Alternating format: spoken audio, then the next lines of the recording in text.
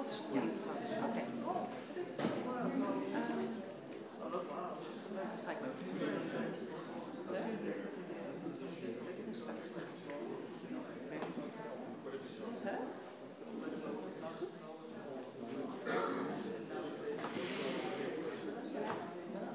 nou, welkom allemaal bij eh, dit programma. Het is in het Engels, dus dat eh, zeg ik even van tevoren. Um, en we gaan nu beginnen. Dus uh, welcome to um, the Holland Festival Negritude program in collaboration with Black Renaissance. And Black Renaissance is a collective of critical thinkers, artists, philosophers, activists, scientists, historians, and womanists. We develop programs about non-Western philosophy, epistemology, art, and culture. We aim to open new windows onto the world so that people can form different imaginaries about themselves and other cultures. My name is uh, Antoin Deul. I'm one of the co-founders of Black Renaissance and your co-host tonight. And this is? My name is Tricia Karstenhout. Uh, I'm also uh, affiliated to uh, the Black Renaissance. Um, maybe can, we can have the next slide. Um, I wanted to start with this uh, painting of uh, Wilfredo Lam. I don't know if you know him, but he uh, was a, a, Cuban painter and he was affiliated to the Surrealists. And um, this painting is about, uh, it's called The Jungle, and uh, in this painting he uh, depicts his uh, African um, uh, ancestry and heritage in relation to the plantation and uh, in relation to the plantation and slavery. And surrealism was a very important part of the negritude movement, and that is the reason why I thought it would be nice to start with this beautiful painting of Wilfredo Lam. Okay, thank you, uh, Patricia. Um, we are very honored and proud to have these amazing scholars uh, for you tonight. We have uh, Joseph uh, Jordan and Inez van der Scheer, and we will introduce them in more detail a little bit later. They will, they will join the panel of speakers uh, later this evening. We have 20 times second loud, a group of very talented musicians and singer-songwriters who will perform for us later on. But to set the stage for our dialogue, we have invited Professor Tracy Dean and Shapley Whiting uh, as our special guest from the United States. And uh, Ndjako will kick off the evening with an introduction into negritude. Grâce is an author and philosopher with a focus on African philosophy, literature, political and black feminist theory. She holds master degrees in arts of philosophy and political science, and she's also one of the co-founders of Black Renaissance. Please sit back and enjoy the mini lecture on negritude by Gras Njako.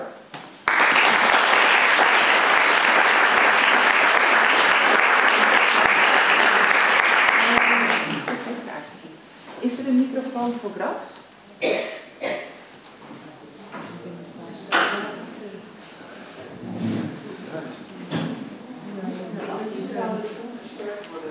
Wat zeg je? Dus het zal onversterkt worden gesproken. Oh, oké. Oké.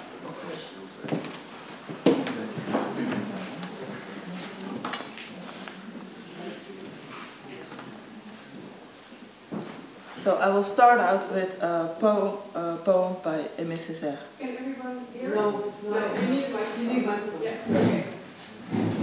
One moment, please.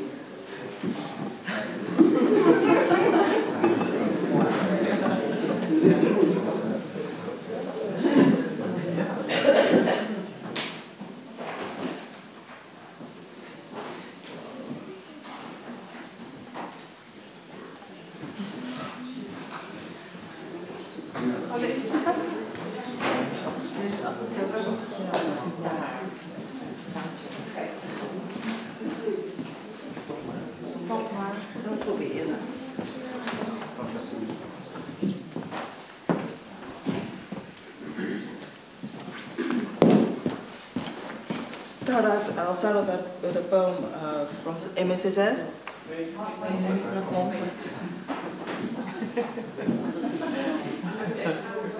ah, nu aan? Test, test. Zou beter? Staat daar nu aan? Ja. Start, I'll start out with a poem by Aimé Césaire. Des mots Ah oui, des mots. Raison, je te sacre vent du soir. Bouche de l'ordre, ton nom. Il m'égorole du fouet. Beauté, je t'appelle pétition de la pierre. Mais ah, la roque contrebande de mon rire. Ah, mon trésor de Saint-Pêtre. Parce que nous vous haïssions, vous et votre raison. Nous, nous réclamons la démence précoce de la folie flambante du cannibalisme ténace. Trésor, comme-on, la folie qui se souvient, la folie qui, qui hurle, la folie qui voit, la folie qui se déchaîne. Et vous savez le reste, que, que DE2 font 5, que la forêt miaule, que l'arbre tire les marrons du feu, que le ciel se lise là-bas, etc., etc. The segment is from Cahiers d'un retour au pays natal by Aimé Césaire.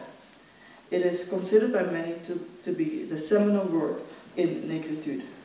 Thus it is here that the word négritude is mentioned, mentioned for the first time.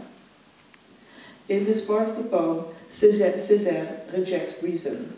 So, um, reason, I will sacrifice you to the evening wind, is what he says in the poem. By reason, he means, he means French Cartesian reason, which, it, which the writers of the Negritude consider to be an oppressive reason, a reason that signifies constant separation between object and subject, body and mind. He embraces madness, the madness that remembers, the madness that shouts, the madness that sees, the madness that frees itself. Thus he proclaims that 2 and 2 equals 5.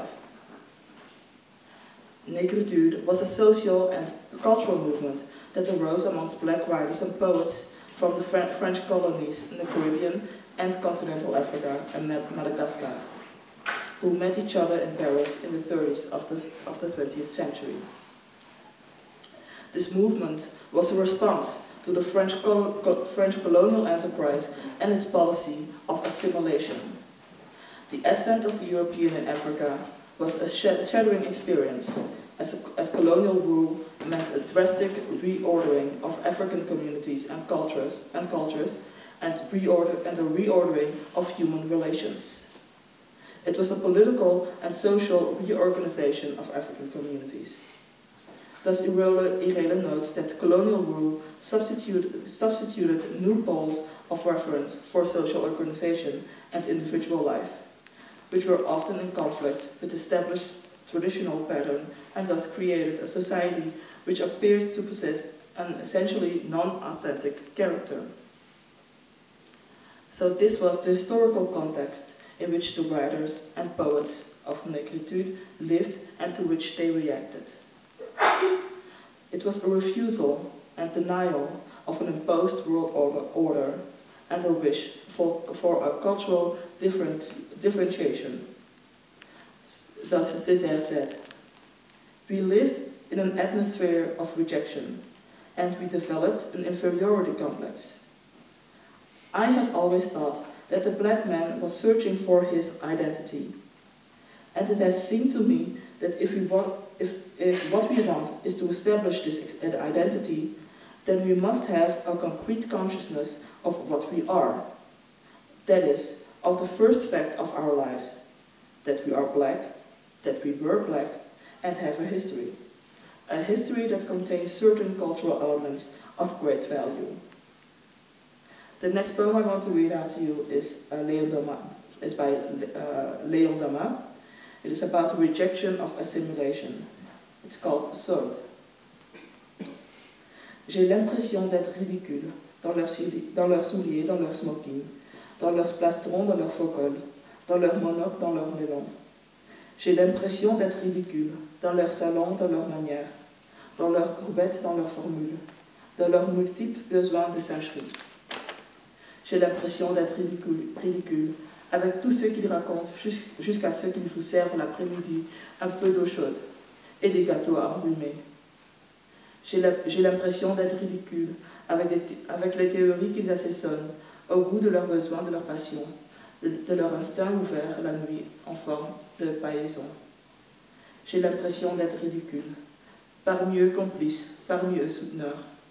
Parmi eux égorgeurs, les, mains effroyables, effroyablement rouges du sang de leur civilisation. Damas, in this poem, rejects French attire, rejects French customs and culture, as he feels ridiculous wearing and expressing them, and even feels uh, uh, like he's uh, betraying and be, uh, being immersed in the blood of the, that comes with their civ- civilization. Negritude was also about solidarity amongst black peoples over the world.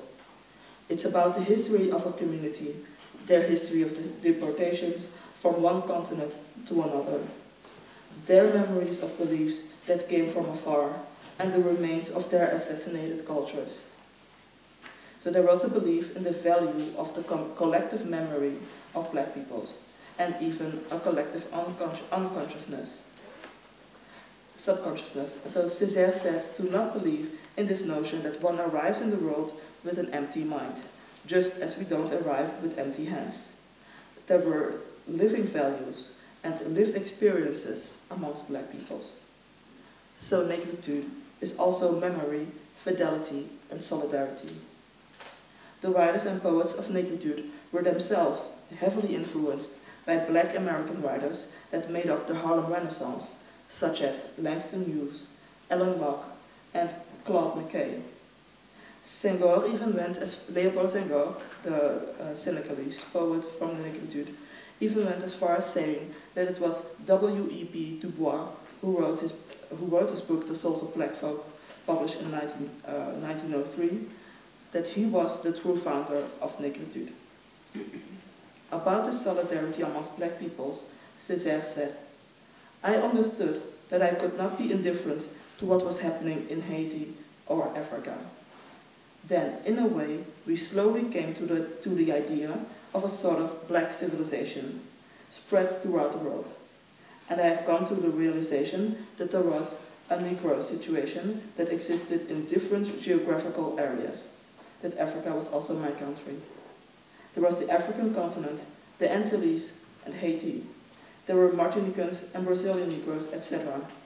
That is what negritude meant to me. The last poem I will read is by the Haitian poet Jean-Fernand Brierre, and it is called Me, re, Me revoici Harlem. So, Me revoici Harlem. Frère noir, me voici, ni moins pauvre que toi, ni moins triste ou plus grand. Je suis parmi la foule, l'anonyme passant qui grossit le convoi, la goutte noire solidaire de tes eaux. Nous connûmes tous deux l'horreur des négriers, et souvent comme toi, comme moi, du sang des couvertures, courbatures, se réveiller après le siècle meurtrier et saigner dans ta chair les anciennes blessures. Nous avons désappris le dialecte africain. Tu chantes en anglais, mon ma souffrance. Au rythme, de tes, au blues, dansent mes vieux chagrins. Et j'ai dit ton angoisse en la langue de, France. Quand tu, sais, quand tu saignes Harlem sans, couvre- sans mouchoir, quand tu souffres, ta, ta plainte en moi, ta, ta plainte en mon chant se prolonge, de la même ferveur et dans le même soir. Frères noirs, nous faisons tous deux le même songe. So in this poem, he highlights the similarities in experiences of his black brother in Harlem as that are similar to his experiences as a black man in Haiti. That although he may sing that he may um, express them in English as he does in French, he may express them through the rhythm of the blues as he, as he does through his own music. But they all have this the same dream.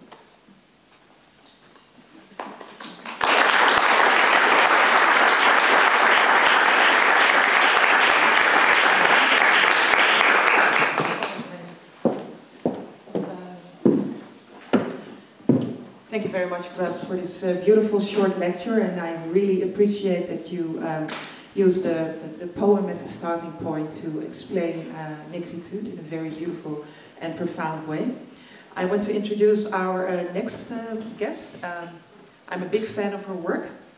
Uh, her name is uh, Tidian, uh, Didion Sharpley Whiting, and I'm currently doing a fellow research, um, and I'm actually using her work for uh, my own research, and it's such a great honor uh, that you are here. Uh, she's a distinguished professor of African American and Diaspora Studies at, uh, and French and French at the Vanderbilt University, where she also chairs African American and Diaspora Studies and directs the Callie Hauser for the study of global black cultures and politics. And she's the author of several books. Um, I call it, I, I, just name a few, but there are many, many more. Uh, black Venus um, and uh, Pimps and Hoes down. Uh, Mrs. I like the title, but it's also, I think it's a very good book. please, Tracy, would you take the stage and, um, you know, share your beautiful...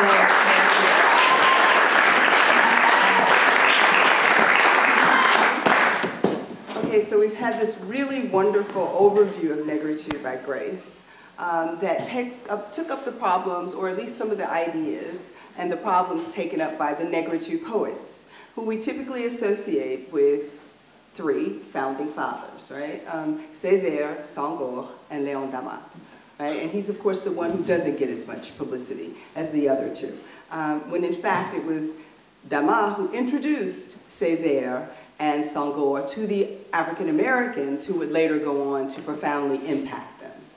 Um, so what I find particularly fascinating when we think about the historiography of negritude, which is effectively a pan-black or a African diasporic movement that is both literary and cultural, and by the 1960s took on political kind of terms and political um, manifestations. Um, but it effectively, it was a movement that emanated out of a French experience in which black people didn't necessarily know how to articulate the difference that they felt uh, in the context of the French uh, metropole, as well as in the context of the islands, the various islands and former African colonies in which they had come from. Why wouldn't they have, why didn't they have a language around this identity that was called black? Primarily because the French one, don't keep statistics according to race. Everyone is either French or you're not. Um, and two, they did a very good job with the idea of assimilation. Very different than the US context in which there was segregation, right? And people were very clear about what was black and what was white, even if they really didn't know what was black and what was white, right? There were a lot of black, white passing blacks and black passing whites. Um, and so we had the one drop rule even to try and get it down to, you know, the core of, you know, if someone's father, great grandfather, whatever. So oftentimes it, it became, it wasn't the color of your skin, it was the race of your kin.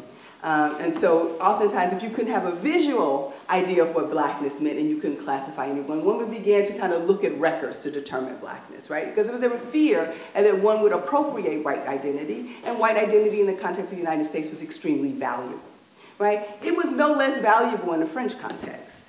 But the difference was, is that the French were very much about assimilating. Is that Gloria back there? Yes. right. The French were very much interested in assimilating people into the idea of Frenchness, right? And the French believed, you all gonna make me duck, I'm from the United States now. okay. Um, I'm about to pop off. Um, so uh, at any rate, um, so they were very much interested in the idea of going willy-nilly across the globe, colonizing people, interacting with people, right, impressing their culture upon those individuals because who wouldn't want to be French? Right? right? The 19th century philosopher Jules Michelet says effectively that everywhere they go with sword in hand, they teach people what it means to be French, right? And of course, most people laugh at that line. And he says, don't laugh, don't laugh, because it has been quite effective. That every time we leave a place, when our armies leave, they are effectively French, right? Um, and so these people who've been colonized by the French um, who have been taught that nos ancestors are les Gaulois, right? They are the French, they're the Gauls, um, have no relationship or no understanding exactly about Africa, the slave trade. Um, they do fundamentally that there's some kind of inequalities. They understand that there's a legacy of slavery, um, but they're still very much tied to a French identity. And so the educational system supports that identity. um, et cetera, the um, economic policies. Certainly we see on the island in which there are certain blacks that are in positions that are quite, uh, who are educated and are never allowed to occupy certain positions on the island of Martinique, for instance. But nonetheless, there is, there's very strong tethering to this French identity um, and not to this notion of blackness because there's no language to articulate blackness or the idea of what it means to be black in this context. Um, and so they come to the French metropole right? And all of a sudden, they are experiencing something they've never felt, you know, experienced before. They've certainly had it on the islands. They certainly had it in Africa. They see the inequalities, but it's never ever articulated in, in the context of race. And yet, they know that there's something different about their Frenchness. They're French, but not quite um, right? So no matter how well Césaire speaks the French language, and of course Breton even says that in his introduction to the notebook, right? That here's a man who speaks the French language like no other, right? He can handle the French language, right? And so there are all sorts of stereotypes about how the black tongue can't necessarily, you know, really grasp the French language. And so the yardstick of Frenchness is thrown up and black people always come up short, right? No matter how French they believe themselves to be. Um, and so they don't have the language. And so all of a sudden, they interact with these black expatriates, right? Um, and in that context, they began to understand that, well, the difference is actually their skin color, right? And they've been taught, of course, that blackness was always associated with Africa, right? And so there's also this very interesting class dynamic uh, functioning between West Indians, right, French West Indians, and those who were formerly colonized, right? And so the French West Indians were French, right, when, you know, they were considered French, whereas, and citizens, right, even in the context of colonialism. Whereas in Africa, various parts, if you weren't born in certain parts of Africa, you were not a French citizen, right? You were a subject, right? And you did not, you were not entitled to the same rights. And because of those differences, when they arrive in the metropole, you know, as people will do, they will jockey for position, right? And so the West Indians believed that Africans were inferior and blackness was associated with Africa, and therefore backwardness. Although the West Indians themselves felt very different in the metropole. They were not treated as the same French citizens, right? And so with this, um, kind of feeling with this encounter with African Americans that in which they were introduced again with by Damas, but also introduced by the Paulette, the Nardal sisters, Paulette Nardal and Jane Nardal. We're oftentimes, we're oftentimes kind of papered over in the history, historiography of negritude. Um, so these sisters are also Martinican, they come to France. Um, they, of course, already speak English. So Césaire and Senghor, um, Damas, of course, speaks English um, but, or at least better English, those two do not speak any English at all, right? And so these sisters began to help negotiate that African-American world for them. They introduce them, they help translate, they host salons. They are writing well before the negritude poets are writing about this black identity because they can read the work, right? Jane Nardal sits down at the defense of um, Anna Julia Cooper, right? Who was a black woman who received her PhD from the Sorbonne. Uh, and she says, wow, I have become a recolored woman. Right? And so, because of course she had never thought about herself as a colored woman, and so she, she after listening to this defense of this African American woman defending in French, right, who is, you know, uh, a fairly, is an older woman, right, um, who is taking up this question of race, who's talking about Haiti, um, and what's going, what went on in the Haitian Revolution, this question of race and blackness and the, and the violence of the Haitian Revolution um, on the part of the French. Um, so, so nonetheless, she sees this and she, of course, decides this is a very different kind of experience of blackness. Right? She embodies a different kind of blackness. And so she brings it back to her circle. And she's, of course, in a circle of women. Um, and they open it up to these men and allow these students, because Césaire and Senghor and Damas are still students at the time, so that they can begin to engage with these black American writers. Um, McKay, uh, as he said, Locke was very important, Alain Locke was also very important. So it changes their world and their way of thinking. And there are several essays that are fundamental that come out of this, this time period in the early 30s, which is, of course, Black Internationalism, written by Jane Nardal. Right? She's the first one out of this group to articulate this kind of pan-African um, idea. Right? um, and that blackness is on the global stage, and we have to start thinking about blackness in the context of the global stage. Right? And this is, and in this context, she also mentions Alain Locke's book, The New Negro, which again, as the poets are beginning to think about themselves, they're like, we are the neo-negros, right? The new Negroes, this is what they say in French, before they come to this idea of negritude. Um, the other essay is um, by Paulette Nardal, right? And that essay is um, published, ooh, wow, in 1935. Um, it's been translated a number of times, but it is effectively, the title is um, about essentially black students and the, the race, the, the, arrival of race consciousness among black students, right?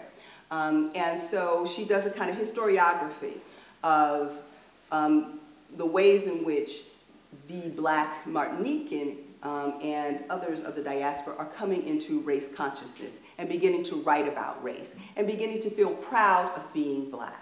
Because that's ultimately was it, what, it, what, what it was. It was not a rejection of whiteness or Frenchness. They desperately wanted to cling to their Frenchness because it is who they were. Right? There was not a rejection of their Frenchness. It was simply an adding on to their Frenchness, right? In a way in which uh, the French would object to because they don't like anything multicultural. But nonetheless, it is very important that they begin to recognize, recognize themselves as French blacks. Um, and with that, they, of course, with the oncoming war, uh, various publications flourished at this time in Paris. Uh, and they returned home and they began to try and proselytize and talk about blackness um, uh, on the island of Martinique and in different places in Africa, which became, of course, very difficult, right? In Africa, it was difficult because you had so many different groups right? Tribes spoke different languages, et cetera, et cetera. And again, trying to get to this idea of race. People did not necessarily did not think of themselves as raced, right? And in the context of Martinique, again, were, it was an uphill struggle because people were still thinking of the Africans as somehow being the black ones, the bad ones, et cetera. Um, in hindsight now, there's a film, of course, by Paulette Nardal about her life, um, and people are talking about the ways in which she attempted to um, force uh, the various populations to grapple on the, on the island to grapple with this notion of race and to grapple with their blackness and to accept their blackness and to be proud of it. Um, and not necessarily to uniquely identify with a white French identity. Certainly a French identity, but to recognize that Frenchness itself was um, multicultural and diverse, right? That it was not one thing, no matter how it had been defined, for centuries. It was never one thing, even in those centuries. At the moment that it had contact with other cultures, it was impacted by those cultures, no matter how much the French want to believe in the purity of French culture and Frenchness. Um, and so with that, I'm going to conclude because I probably think I've gotten close to that time. Uh, and so I'm going to uh, turn, I'm sorry? Eight minutes. Oh, eight more minutes? Oh, wow. Okay. Uh, I had plenty of that. I was told I had 10 minutes. Okay, um, so, well, then I can kind of continue on if you don't mind. Um, what um, I can kind of go into a little bit more with the, um, with the returning of the poets, so actually with the kind of historiography, I've just discovered uh, when I was writing the book, well, I didn't mention Suzanne Césaire, who is also very important, but Suzanne Césaire comes later, once the return to the island, right, and she's Aimé Césaire's wife um, and a very brilliant woman who, of course, um, is in the shadow of a very brilliant man um, and suffers as a consequence. And so she is not rediscovered um, until much later when we do the historiography, um, and still is often papered over for her genius is often papered over in, in um, you know, in deference to Césaire. But nonetheless, when they returned to the island and they found another journal, Suzanne Césaire, of course, encounters André Breton, right? This is between the interwar period. Well, it's actually after, this is at the onset of the war in which people are trying to escape France, right? Vichy France. Uh, we have the French France is partitioned in two. You have the Free France, and then you have the Vichy collaborating France. Right? And so people are attempting to get out of France, so because they're going to be persecuted? Um, and so Breton, André Breton, the great surrealist writer, who of course takes up Freud, uh, he was originally a doctor, um, or at least he studied medicine, um, and served in the French army, and he began to read Freud and wanted to explore the unconscious. And with that, he began to develop theories out of the unconscious, right? Automatic writing, automatic painting, right? In which people would just kind of write from what they felt right? Not necessarily thinking long and hard before them and sitting down or certain writing and saying, I'm going to write this. but simply write or simply paint. And oftentimes what came up were those things that you often repressed. Right? And this is pure Freudian. Although Freud, and Patricia and I were discussing this, rejected the surrealist uh, very out of hand, he said, that effectively when he looked at surrealist painting, he saw the consciousness. he did not see the unconscious. So they were quite shocked um, that the person who, whom they worshipped actually rejected um, their embrace of his theories of the unconscious. Um, but nonetheless, who cares? You know, you get your inspiration from wherever you get it from, um, and you move on. And that's essentially what Breton and his group did. And so they are being persecuted because artists were being persecuted as well.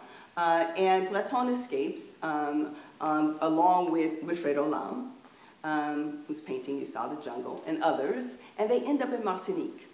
Right? And it is as Breton is browsing a store that he discovers um, a journal, um, and in that journal are several essays by Suzanne Césaire. And others, of course, and Césaire himself. And he's really struck also by the letter that they write the Vichy regime that is attempting to repress the journal by not providing them paper to print the journal on. So he has to meet these people. And in particular, he's taken with Suzanne Césaire. And of course, as everyone is, they talk about how beautiful she is. As beautiful, you know, as a, you know, the, the flame of a cocoa punch, et cetera, et cetera. Okay, he recognizes her brilliance, but that's about, that's the line we get on Suzanne Césaire. So then the men go off um, and they do these, you know, kind of interesting things. Um, but it is actually Suzanne Césaire who carries the torch of surrealism. Césaire is a wonderful poet, but he is not a surrealist. Right? He was not a surrealist. Um, he was, he, he simply was not a surrealist. He did not embrace or articulate surrealism in the way in which Suzanne Césaire actually embraced it. Um, and so many, as of late, have been coming back to her work um, and reviewing it through a surrealist lens.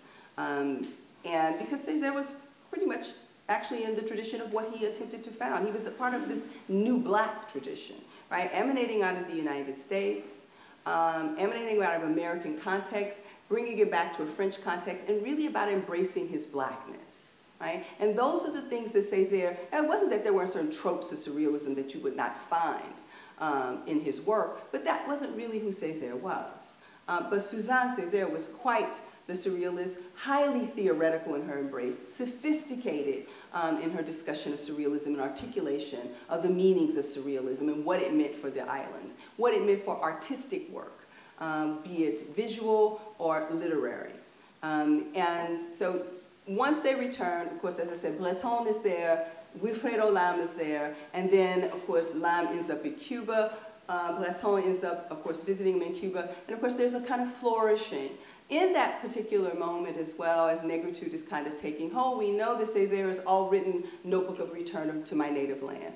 In that particular work is where he first mentions the word negritude. It probably would have gone unnoticed um, had not Jean-Paul Sartre wrote the introduction to Black Orpheus, right, which is the collection of neo, um, New Negro poetry um, in the French context. Um, and he calls it, of course, an ugly word. But nonetheless, it is a word that embraces this idea of blackness. And so it is, it is how we came um, to this word negritude. But then there's other writings. In 1935, the Étudiant or Student Noir journal, that the Black Student Journal that Césaire, Paulette Nardal, and the others have founded, um, we first get an inkling of what Césaire is, is trying to create. He creates another neologism, another new word, which he calls a negrerie, all right? Or, you know, blackness or black things or however we want to interpret it. But this is the first kind of inkling of him making up words to try and describe blackness. Um, and then there's a second issue that I lately discovered, which is where I was beginning, going back to, um, that was also published. And not many people have begun to kind of mine that issue because Césaire goes in much more detail um, about revolutionary, about his uh, race consciousness. And Paulette Nardal is not in that issue. She's in the first issue in which they're also concerned with student things. It's an interesting kind of issue, but the second issue is particularly uh, political, and we really get to see more Césaire digging down into this idea of negritude. We also, Senghor is also published in there. Um, and they also, of course, include um, works by black American poets that they're particularly influenced by. Um, so the second issue, I think, is one in which people should You know, you can find it on the internet actually now. Um, it was in the archives at the Moorland Spingarn Library for the longest. Um, Damas had given someone there a copy and they held on to it uh, as sometimes archivists do, for a long time before they released it. And this person was nice enough to, of course, publish it on the internet. Um, but it, that's, a, that's a work that I think needs some more mining because in that work you'll get even more understanding of Césaire's kind of evolution and Senghor and Damas around this idea of negritude. It is interesting, as I said, the Nardal sisters are not included in that particular issue. It is a very male um, issue. Um, and this is where I think the, the gelling of this, no, this idea of the three founders, the male movement, begins to really take form. Uh, later on, of course, we get the acknowledgement of the sisters' role uh, in the evolution of negritude and their development. Um, the sisters themselves, of course, Nardal writes that she's, you know, the men expressed it with much more flash and brio, as she says, their concepts. And she says, well, well what were we? We were just women you know, um, and so we were kind of written out of the movement. But if you go to Martinique today, you have a square, Paulette Nardal, so there is recognition. Um, not as much for Jane Nardal, because she kind of fell off after a while, she took ill. Um, but Paulette Nardal um, it was a force to be reckoned with on the island. So I think as we begin to think about negritude, we need to think about it in its completeness, in its totality, uh, with respect to its evolution and the ways in which there weren't just male um, founders or members, that these, these guys were really, really, these men were really, really impacted by these women and they were critical to their introductions. They weren't just introducing them, but also critical to the ideas that were shaping the movement. So I should stop there because you just stood up. All right, thank you.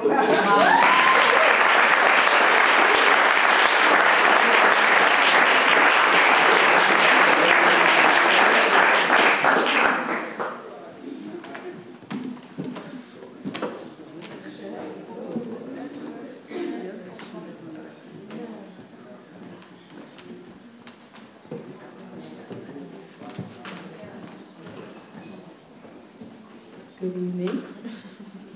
Is everybody feeling good?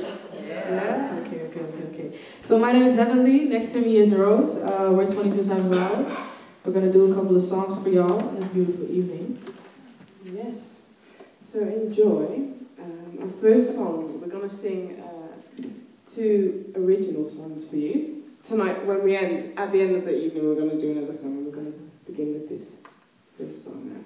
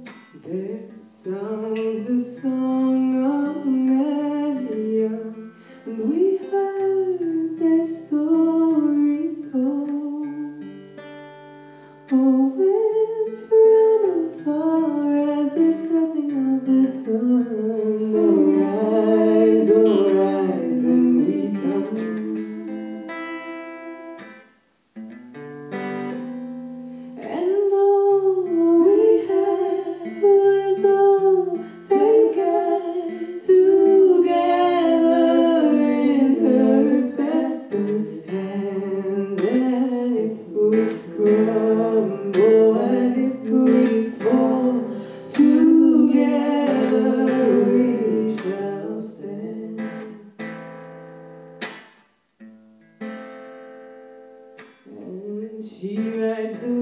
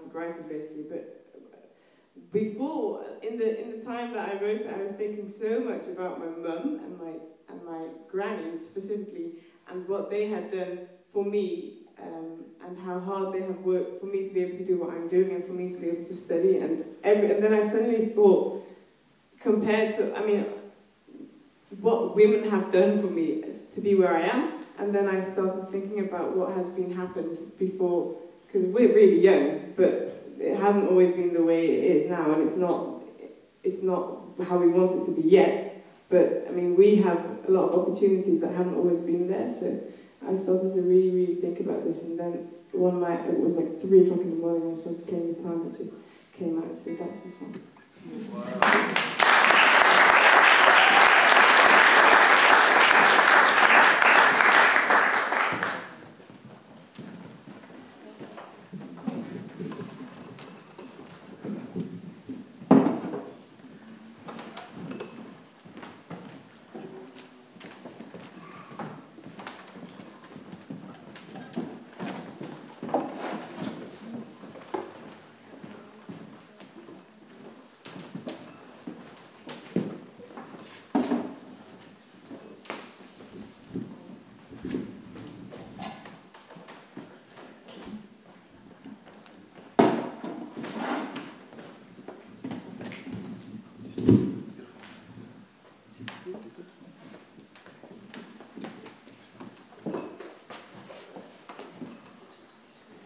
So, test, test. Is it working? It's working?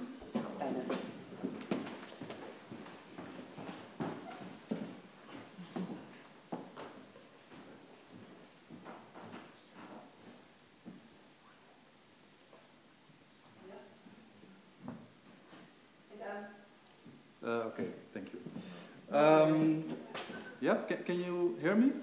Loud and clear? Okay. Sorry? Test, test. Yeah? Okay. Um, I would like to introduce you to uh, the panel. Uh, uh, I first want to call Joseph uh, Jordan. He's currently a lecturer in, in teacher education at the Amsterdam University of Applied Sciences and uh, doctoral. Okay, ik ga het gewoon zo doen. And I'll, I'll do it like, like this again. I would like to introduce Joseph Jordan. He's currently a lecturer in teacher education at Amsterdam University of Applied Sciences and a doctoral candidate in English literature at Vanderbilt University. He is from Surinamese descent, was born and raised in the city of Amsterdam. Please uh, join us, uh, Joseph.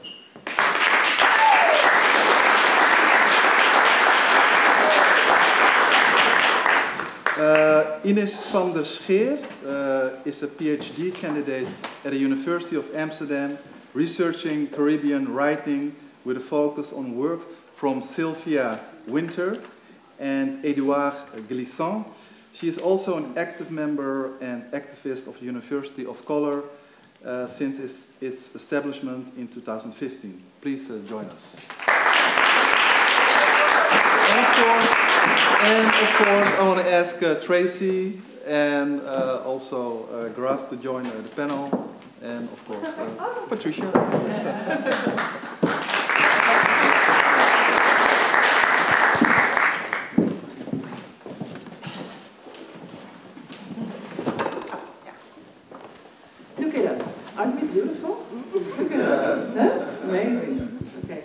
welcome everybody. Um, and thank you all, uh, Grâce again and Tracy for giving such a wonderful, wonderful uh, um, lecture. And thank you both for your beautiful song. I'm looking forward to the next song. I'm a fan, you know.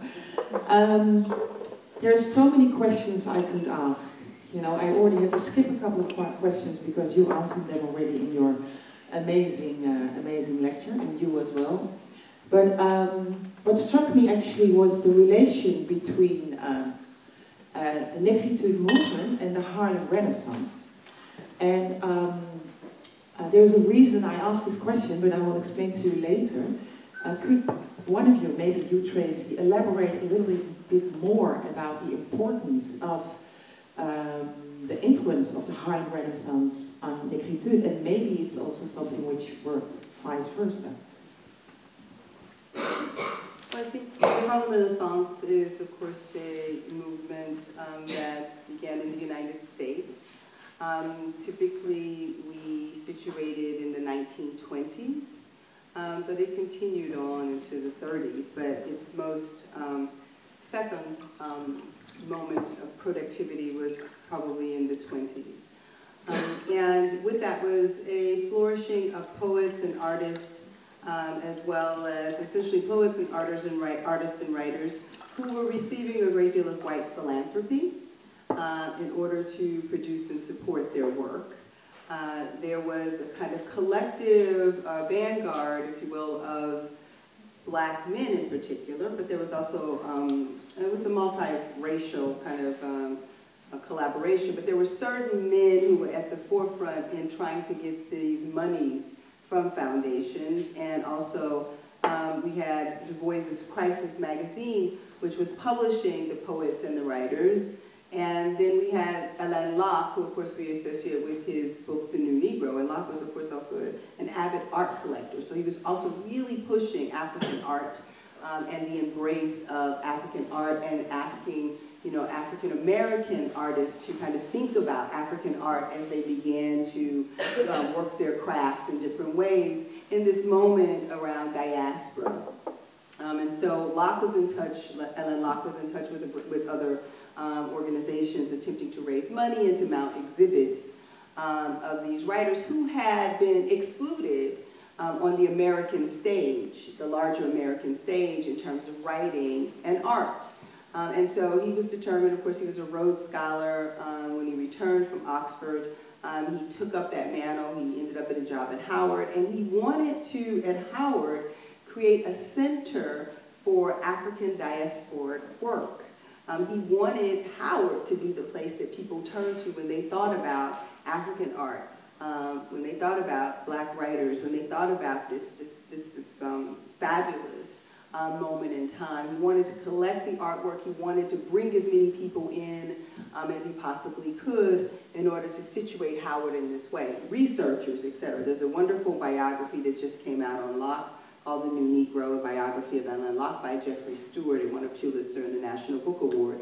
Um, it does very great detailed work about how he attempted to build this new Negro movement um, and of course, there were others involved, like Du Bois. Jessie Fauset was extremely important in nurturing um, these writers, um, and like Langston Hughes, uh, Claude McKay, um, Gwendolyn Bennett. There's so many of them um, that she was responsible for bringing to light, and she's often, again, papered over. She and Locke didn't get on very well, so, you know, he had no use for her. And of course, once Du Bois, you know, decided that they were done, that was it for Fauset, and she began to kind of teach school. But the Brownies book was also uh, her other vehicle in order to introduce African American children um, to the literary arts. Um, and so that didn't last quite as long, but she attempted to really do something across the spectrum, whether it was with youth or whether it was with these young poets.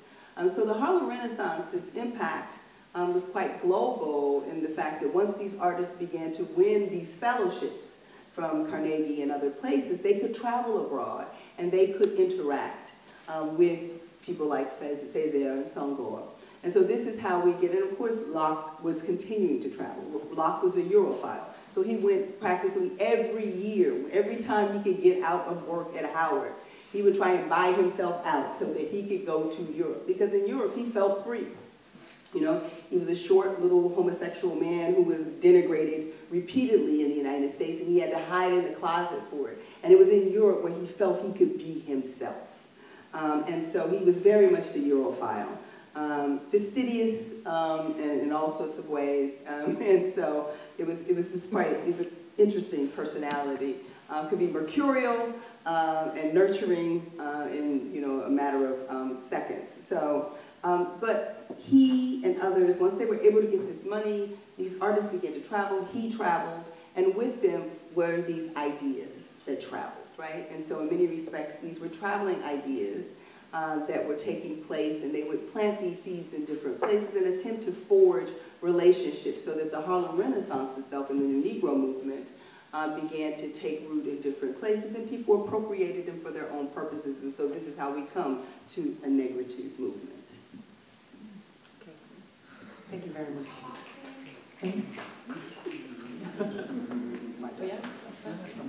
Uh, Kras, zou jij er nog iets over aan toe kunnen voegen? Uh, of uh, kunnen we naar de volgende vraag gaan? Volgens mij heeft het gewoon beantwoord. Ja, um, dan, uh, I, I, uh, I'm sorry, I'm switching to Dutch. I should stay uh, in English. Um, I would like to show you a, a quote of the um, uh, author and Nobel Prize winner uh, Wole Soyinka. Uh, can we have it on the screen, please? Um, so Wole Soyinka was not such, in, not very much in favor of the negritude, and um, he says the, following, I said, a tiger does not proclaim his tigritude, he pounces. In other words, a tiger does not stand in the forest and say, I'm a tiger. When you pass where the tiger has walked before, you see the skeleton of the duiker. You know that some tigritude has been emanated here. so, um, maybe I can ask Joseph, could you please respond to that, um, that quote? Um, I am a great lover of uh, Nigerian and Ghanaian literature and their authors. And um, I remember coming across this statement by um, Soyinka and thinking to myself, um, what a condemnation of a movement that was trying to affirm a particular kind of blackness. And um, I really appreciate that when you think about how different people have been colonized and how they might have a different relationship to coloniality, how that will shape the way they understand the significance of something like blackness. Because if you grow up in a context where blackness is a given, or where you feel that your culture is not being denigrated, or you can hark back to cultural traditions that are easily available to you, then it suddenly becomes much easier to say something like this, as opposed to saying something like, I have to declare my blackness and make it stand, because otherwise I will be assimilated into a particular kind of form of Eurocentrism or whiteness. Could you respond to that as well, Yes, um, I, I, I agree with what he said. I think it's very important uh, to be aware of the different contexts from which uh, they came from. Like Wole Soyinka is a Nigerian author, and he came from he comes from a British colonial context, and there there are very uh, big differences between like the uh, British colonial rule and French colonial rule in Africa. So whereas um, so for example the British would um, well um, concerning like um, uh, well, dealing with uh, subjects at, at or um, matters that they were that weren't really of interest to them, they would uh, very much uh, let the local lo local ruler, rulers make the decisions about that. Indirect. So, so it, so it was more about indirect rule for them in the, their uh, in, the, in uh, their colonies in Africa, whereas um, the French were really into uh, mission civilisatrice. So it was real. Uh, it was a real uh, and a strict and um, assimilation policy that they implemented in their uh, in their in their colonies in Africa. So, so yeah, so yes, uh, um, a Nigerian citizen would not have to, had to declare his blackness because it was, as as uh, Joseph Jordan just said, a given. Well, for um, uh, well for a, a, black person, for an African in the in the French colonies, it was very uh, it wasn't a given because uh, the policy was very much directed to uh, trying to make these African people into black French people instead of letting them be uh, maintain their culture. They really so even uh, education was very much geared towards uh, attempting to reach Frenchness. Uh, well, this wasn't the case in the British colonies, so that's very, uh, very important to be aware of that dynamic. And, and can, can we bring that a little bit uh, closer to home, to, to the Netherlands, uh, for example? Maybe Inez, you can uh, answer this question. Um, so if we look at the way the French tried to basically assimilate people from the, the, the, colonies into their... Can we have the okay, quote of Aimé Césaire, please? Because, so, it, so and it, I just wanted to add that this um, so that this notion of assimilating into Frenchness, that uh, this translate, that it is an ongoing uh, notion. So mm-hmm. it's you can still see very much see the differences between like the way uh, French people uh, French people deal with matters of migration, integration into the uh, into French society versus the uh, the way the British deal with it. So, for example, where um, uh, in Great Britain or, or in England, um, they they don't really uh, for example, the wearing of uh, of the niqab or the hijab the way the French do, because they see that as an affront to attempting uh, uh, to uh, assimilate, integrate into French culture. Like you can't be French and wear a niqab, you can't be French and wear a hijab because they see the ideals of the, uh, of the Enlightenment uh, as a very universal notion that everyone must, uh, must attempt to reach. So that's just what I want to, okay. just what I want to add. And, and um, maybe she can. Uh, yeah, maybe, maybe you can then also also Grâce, um, can you compare it also with the situation here in the Netherlands regarding, uh, let's say, uh, the, the, black community and the colonial history of the Netherlands? So you compare the UK and uh, uh, uh, France. How about the Netherlands? How's the situation here? Because the multicultural society yeah. has been declared dead by several political uh, figures here. Yeah. Um, we had a lot of discussion about integration of uh, migrants, uh, assimilation. So what is the status here now?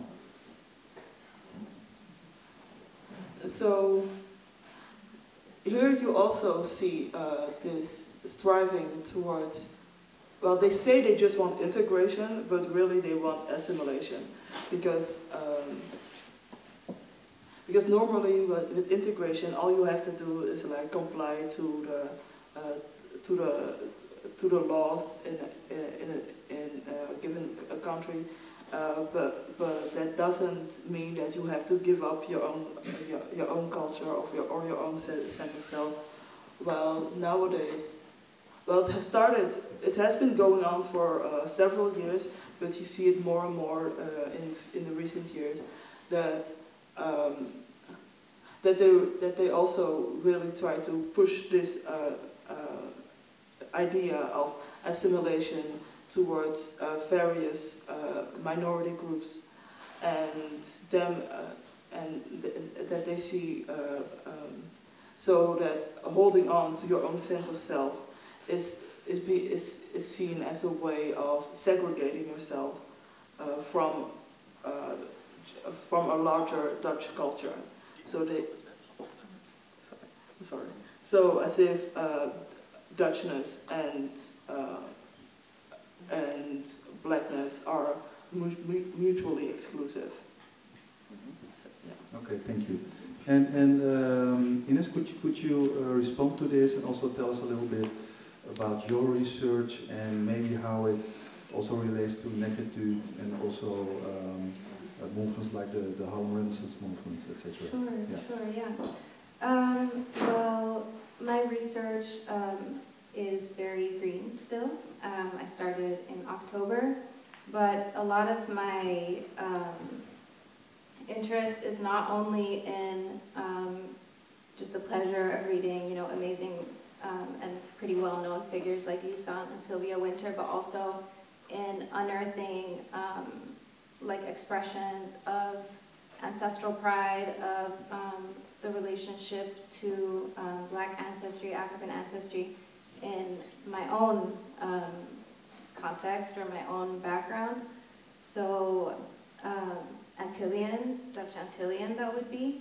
Um, and I think that this is so uh, shamefully underrepresented. Um, the work is not readily available. You have to ironically go to colonial archives to find even these writings. Um, and the, the publications that exist about it have been written also by white Dutch people and are very, um, what's noteworthy to me is that they're very, I guess, intent on reading anything but that expression of ancestral pride and that expression of um, solidarity with Africanness, with African identity. Um, so just attempting to retrieve the actual work from that kind of cesspool is um, an interesting project. Um, and luckily, um, I'm not doing it alone. So just a shout out to uh, Alfie Martis and um, Alejandro Martina, who are working on this as well and are working currently, um, Egbert, on this incredible project um, that sees the 30 de May uprising on Curacao, which has always been cast as a, as a labor issue, as a, as a proletariat issue. Um, casting that and reading that through the lens of not just decolonization, but also as an abolitionist project. Um, yeah, sorry, I've gotten away from the question. Um, assimilation. Yeah, not a fan. Um, I, yeah, I don't think that's very tenable. I think it's a really interesting question um, for myself and my peers. Um, it's, I think, a known thing, for example, from Aruba, that people come here at around age 18 to go to university um, after having, you know, all of our education in the Dutch colonial system, everything in Dutch, reading the same books as Dutch people, taking the same tests as Dutch people, and expecting to be Dutch here, you know, because you have a Dutch passport, you have the privilege of a Dutch passport, and finding that that's not the case. So in that sense, um, yeah, this really resonates. Um, I remember reading Black Skin, White Masks. That is something that um, I think is very, lends itself very much as well to people from a Dutch Caribbean context. And, and uh, can you reflect a little bit what you, you've heard from um, uh, Tracy and from Grâce on uh, negritude? Were you familiar with the, those movements? Uh, that, this, that, that's one part of the question. And second is, um, the second part is, do you also see uh, something emerging here in the Netherlands? Um, our name uh, from, from the collective is Black Renaissance. And uh, we choose that because we are sensing that something is happening. There's some kind of black awakening happening. Do you also feel something like that? I definitely feel that, um, and I feel super privileged to be here in that moment. Um, I feel that very much as an activist, I have to say, more so than as an academic, because at the University of Amsterdam, at least, um, I'm the blackest person there. Um, yeah, as a, me as a student, you as a, as a teacher. Um, so, um, yeah, that. Sorry, what was question?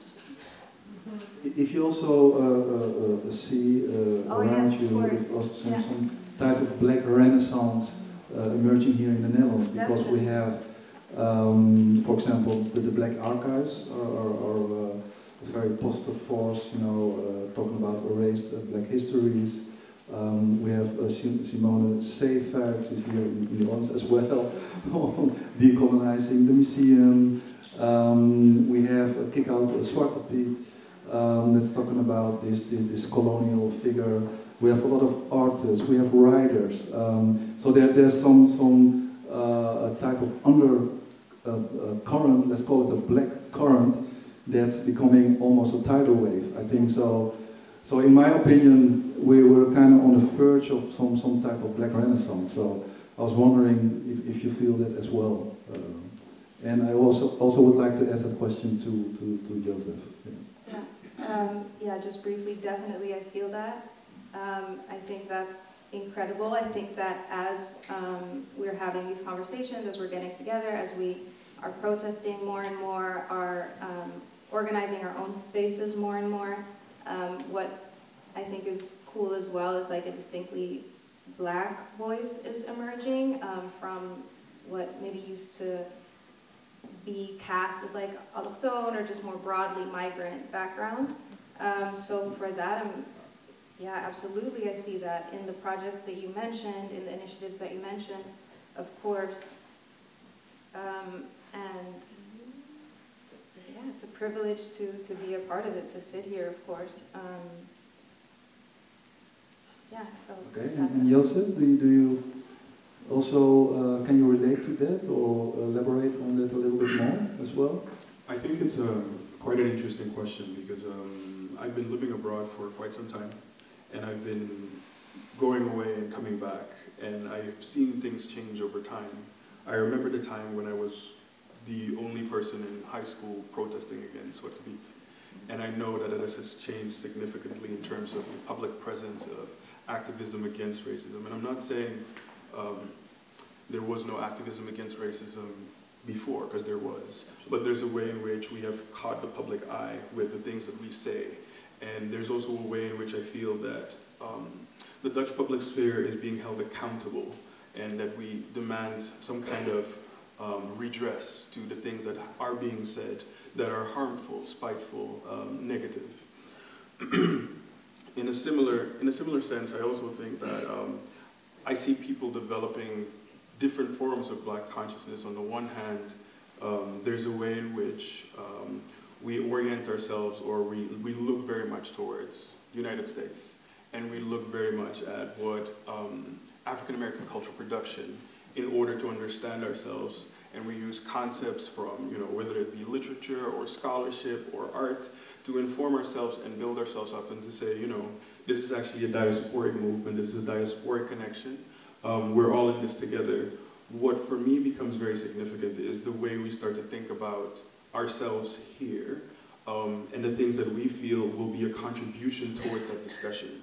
So that, for example, I'm more interested in the way we, um, the people who perhaps grew up here or grew up in, you know, the overseas territories, former territories, not so, not so former territories, um, basically elaborate on and push the conversation further rather than sticking with what scholarship in the United States has produced about a particular problem. And I, I, some of my dear friends know this very well. I will say this like repeatedly.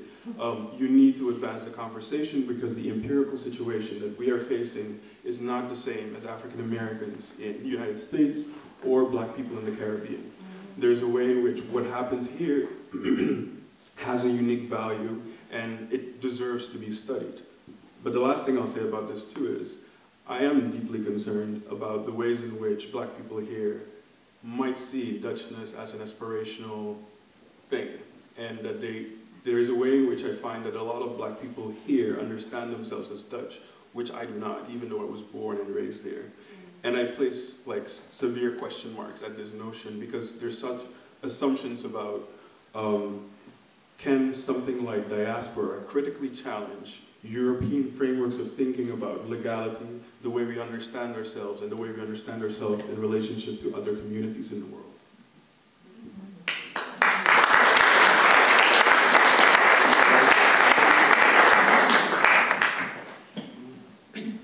I think we also should, um, uh, in this whole discussion, we really should honor and address Professor Dr. Gloria Wekker and Professor Dr. Philomena Essed, um, who were very important on, on making um, us aware that whiteness is an ethnicity as well. And I think that is something which changed the whole, um, many things changed, but we're talking about, you know, what is changing.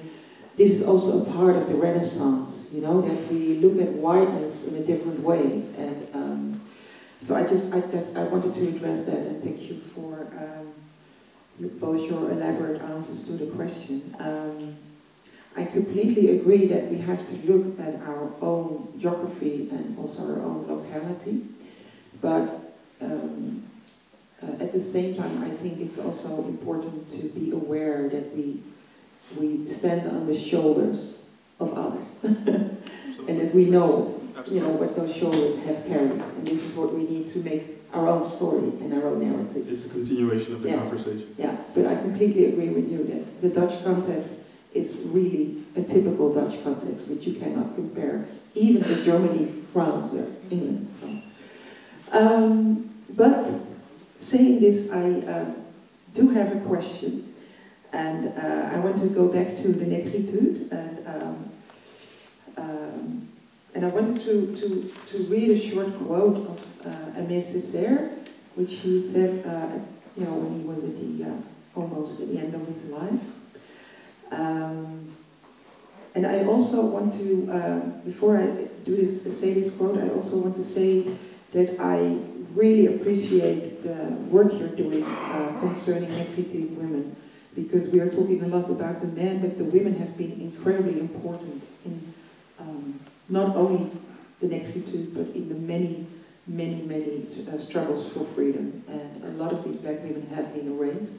So we stand on the ground of black women, so we have to keep that in mind as well. Anyway, um, towards the end of his life, Aimé Césaire has declared that the question he and his friend Leopold Sédar Senghor came to raise after they first met was, who am I? Who are we? What are we in this wide world? And he, comment, he commented, hmm, that's quite a problem. Who am I? is a question Descartes posed, and a reader of the French philosopher naturally understands such a question to be universal.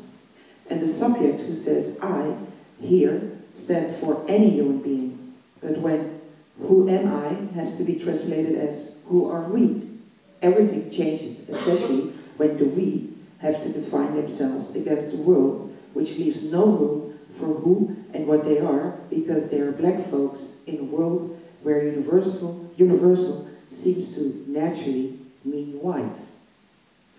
Negritude, or the self-affirmation of black peoples, or the affirmation of the values of civilization of something defined as the black world, as an answer to the question, what are we in this wide world, is indeed quite a problem. So my question is, with this in mind, and I think I asked it to you, uh, do you think that the who am I question of Césaire is still accurate for black people within the European context? And is the universal still white?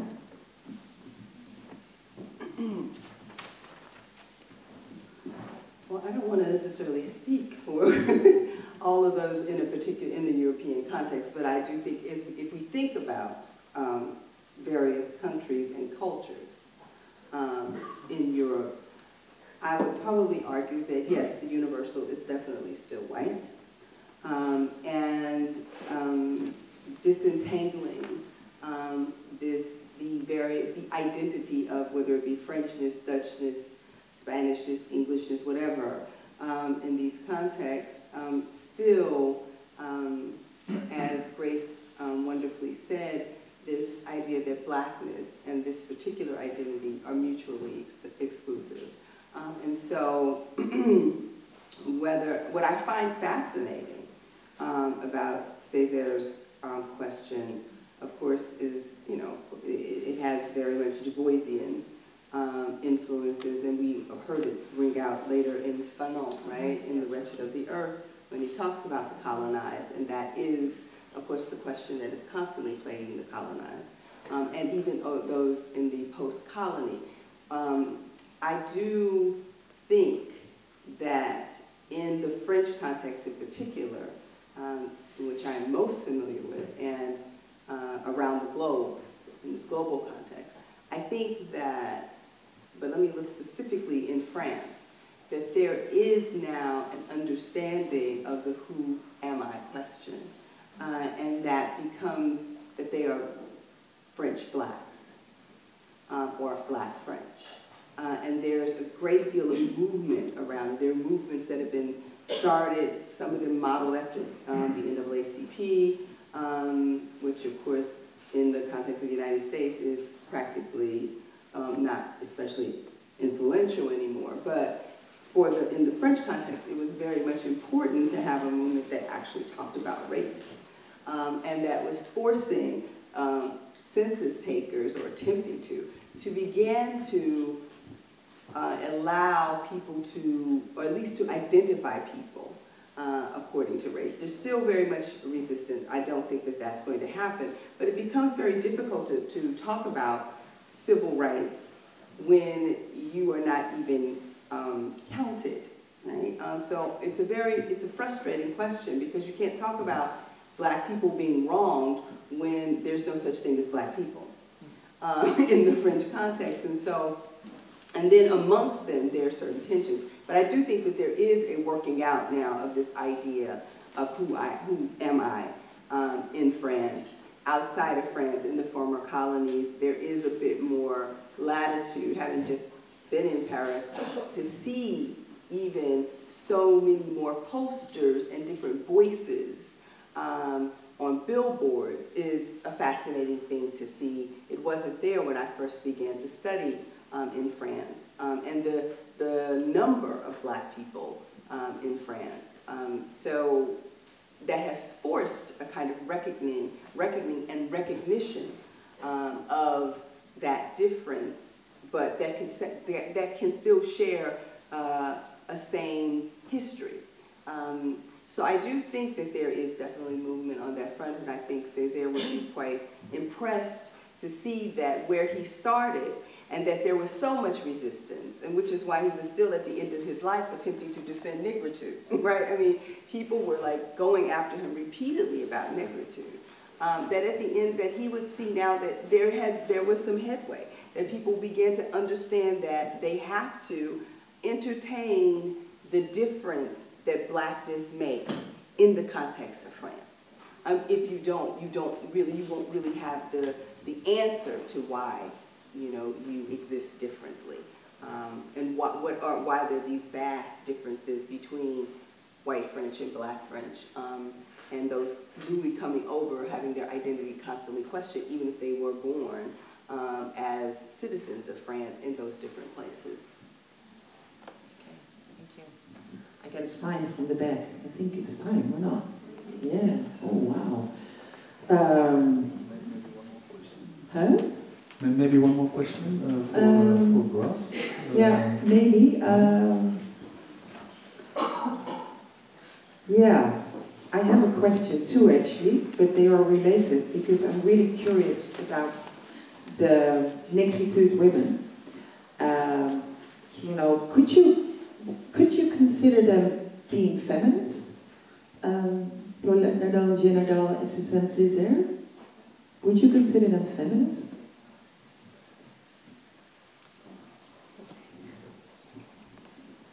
Um, yes, I would, because uh, Paulette Nardal was very much concerned also about uh, the position of women in, uh, in the island of Martinique and uh, very much writing, um, uh, writing a lot about, uh, yes, about this question of womanhood in Martinique. But although it may be a more uh, conservative feminism that we than that we are used to nowadays, because she, I I found her writings to be very Catholic and very traditional when it when it comes to like womanhood and motherhood. So he's, yeah, so it's it is feminist, but like very conservative and traditional. I would say. And class, classicist also. Yeah, yeah. Yeah. Yeah, it's what, what uh, but black women were also facing this triple uh, oppression. Yeah. Yeah. Um, yeah. I think I, I think I'm sorry. I think we're out of time. So um, unless somebody has to have like an urgent thing to pose, I'm looking at. Waiting for someone to help you. Okay, so- for one more So. Oh, then, then, then maybe uh, some Great. final remarks from, uh, from all the. Yeah. the- Maybe the Joseph, speakers you and want to elaborate on the who am I question, or is there somebody else, uh, something else you said like, wow, I would like to. uh, I guess, um, and this is perhaps um, a little bit of an addendum. Um, one would be a concern with the kind of acceptance of Dutchness as an aspirational goal. And, you know, some of us are absolutely not interested in being Dutch or being told that what's in your passport is what you are. And I think that the other aspect is rather than the, placing the question, who am I? I think that the question, who are we, is something that we need to think about. Yeah. And who are we in relationship to each other? Um, one of the reasons why I went to study abroad is because I was particularly interested in the experiences of black people abroad. I wanted to see, you know, I mean, I grew up here. I grew up in a historically black neighborhood, which is now being aggressively gentrified in the Bijlmer. And um, there were people from across the diaspora in my classroom. There were no white children in my classroom until I went to secondary school. Um, and it is with that particular orientation that I understood myself as a black person in relationship to these other black people from the Caribbean, from Africa. Going to England and encountering more of that, going to the United States and encountering more of that was significant to me. So that the idea of the nation state controlling your, under, your understanding of yourself or conditioning the way you understand yourself in relationship to other black populations, I think, is something that we really have to work through because our imaginations of freedom may not be limited by what a European nation state tells us what it is. Here, here.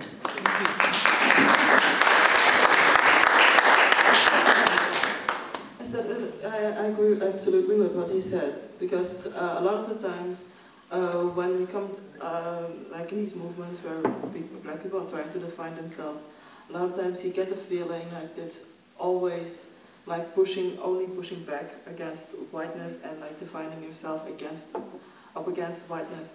And indeed, I think it's much more interesting in um, thinking about the way we relate to each other because some of the things that uh, uh, Fanon and Césaire wrote about when it comes to like dynamics between Afro-Caribbeans and people from the African continent, they also play uh, play here. I grew up. I, I myself I'm from the Congo, from the continent. I grew up in uh, North Brabant, in the south of Holland, uh, where uh, the, uh, most of the black uh, population consisted of people from Curaçao. And back then, like I grew up in the 90s, there were like sometimes difficult dynamics between people from the Caribbean and people from the African continent, where people from the Caribbean sometimes um, like what what what Giselle van ons described, like looking down sometimes again, uh, looking down on people from the continent because they have a Dutch passport, etc. And I think it's uh, like, but I, you see some changes. There are some changes, like nowadays, where uh, black activists are more and more affirming, um, yeah, the solidarity with each other, and also more, uh, more into like discovering their own Africanness. And I think that is like more um, uh, development that we uh, should uh, continue to reflect on, like the way on which we uh, uh, relate to our common uh, shared history and the way we continue to relate to each other based on that.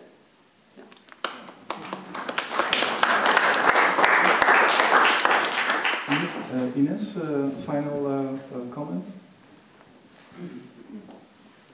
Um, well, yeah, there's not much to add, just thank you. Um, yeah, I, um, I think it's really good that you brought that up because I think that's um, like a huge issue for, um, well, at least people from, I can speak from my island for Aruba, the denial of African ancestry, and then also looking down on continental African people. Um, yeah, I think we have to hold ourselves accountable to that and not just be like, you know, we're into it now, we're feeling, you know, the moment and get all in touch with our roots without undoing um, our participation in the dehumanization of our brothers and sisters, for sure.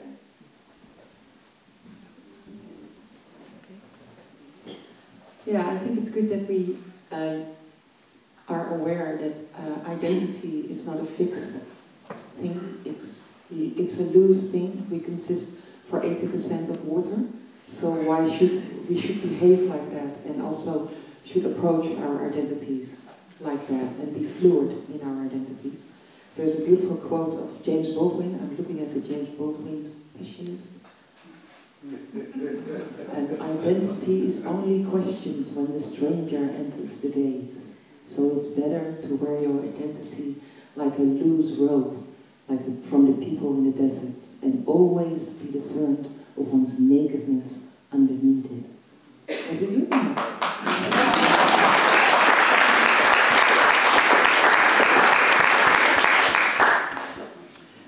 Okay, Tracy, anything you want to add? No?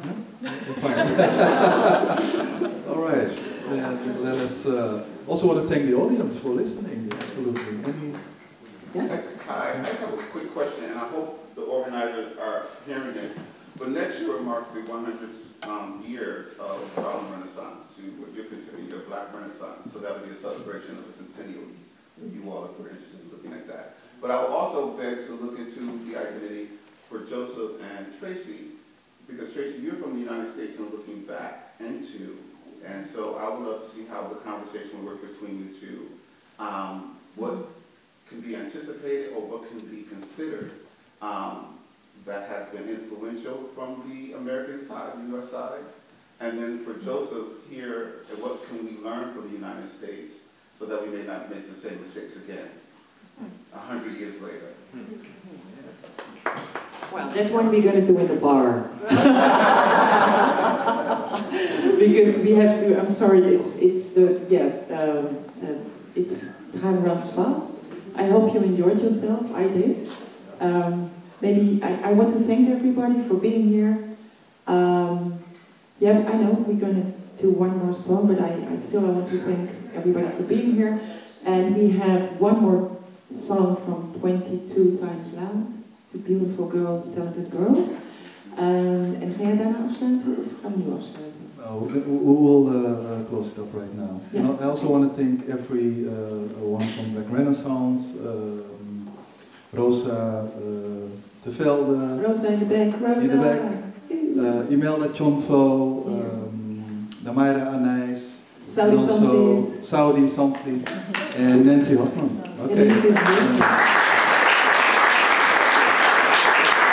And, I want to thank uh, the Holland Festival for uh, inviting us to organize this program. Thank you very much uh, for giving us the space.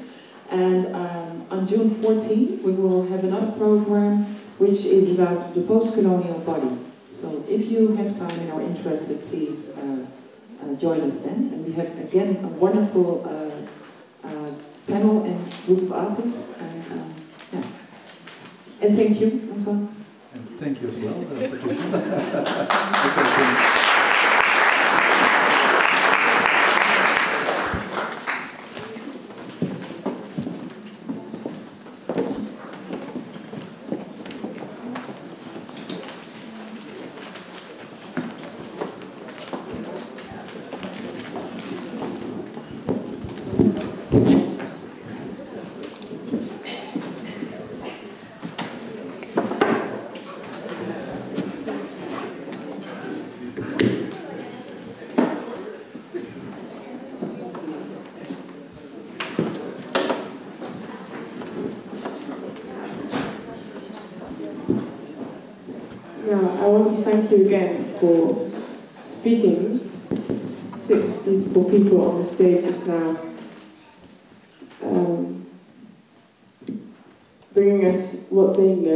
knowledge, and I think this is so important, especially for us in the Netherlands to learn.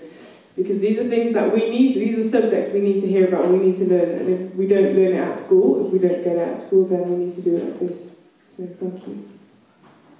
We're just going to sing a love song for you now, uh, just to keep it very light, and um, yeah, just let it soak in what we've been talking about.